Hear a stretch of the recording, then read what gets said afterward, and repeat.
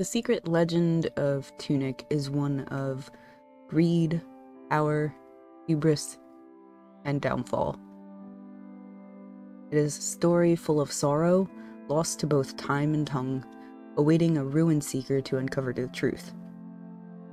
But the greatest sorrow is not buried. It lies out for anyone to see, but no one noticed. Two lines is all it takes to tell the tale of a greater tragedy.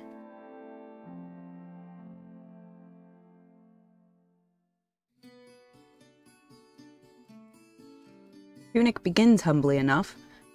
You wake up along the shores of a ruined empire with nothing but the tunic on your back. You find a house, or is that a jail cell, containing a stick, and off you go on your lonely adventure. For there is no one left to tell you about the ruins that you see. Instead, you must make guesses, judgment calls of your own.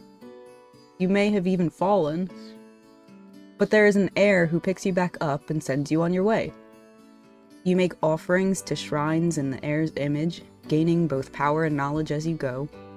You begin to learn small pieces of a legend, and, intent on freeing this guardian of yours, you hunt down the keys to their prison.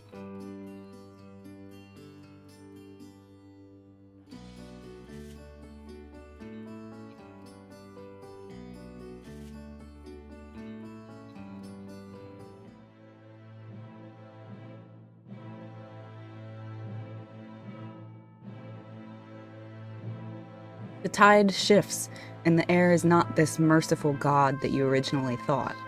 They strike you down, strip you of the false power they bestowed, and you are left to wander as a ghost, to learn who you truly are a ruin seeker.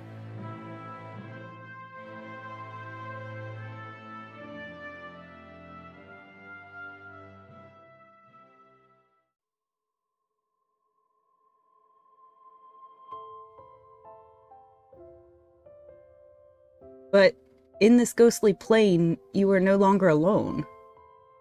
Wisps and echoes are eager to tell you their story. These are not remnants of other ruin seekers.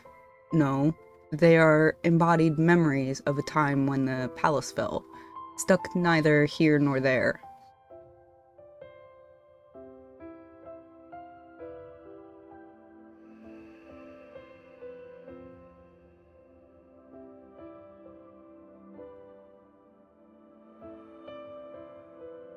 It seems that some are aware that the prison is broken.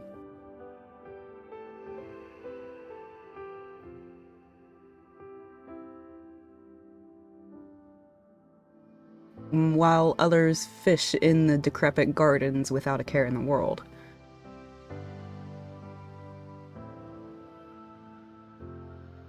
You begin to gather clues from these wisps, leading you to places where you can piece together the puzzle of who you are. But if you really listen, you can also learn who they are. Some obviously help to implement the heir's prison. Some spent their final moments dancing to the rhythm of the golden song, perhaps even hoping it would save them.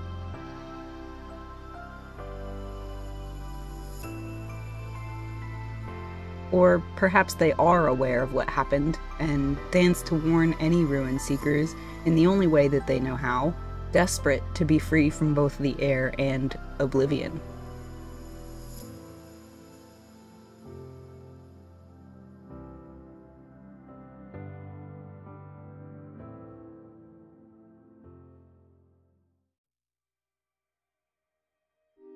But one story is filled with more sorrow than this empire's downfall. It is a tragedy not just of loss, but of resignation. While the other wisps dance and worry, or fish and don't worry, one wisp has given up entirely. He sits alone outside of his former life, watching as countless ruin seekers that he cannot reach pass by and ransack the only remaining ties he has. Only this time, now can the ruin seeker truly listen to his story. but it's already too late. You walk up to him. He would have been surprised that you could see him once, but not anymore. He doesn't stand, barely even looks up at you as he sighs and says, I ran a store once. People usually steal stuff, though.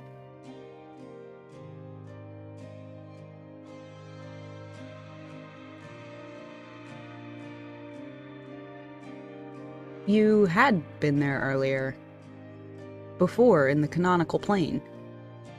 In fact, you even thought it odd how someone had come before and stripped all but one chest clean. Less than scraps were left. Who but you could use the things left buried under a dead empire? Every ruin seeker before you. And each time, this hollow shopkeep watches his old life plundered for the taking.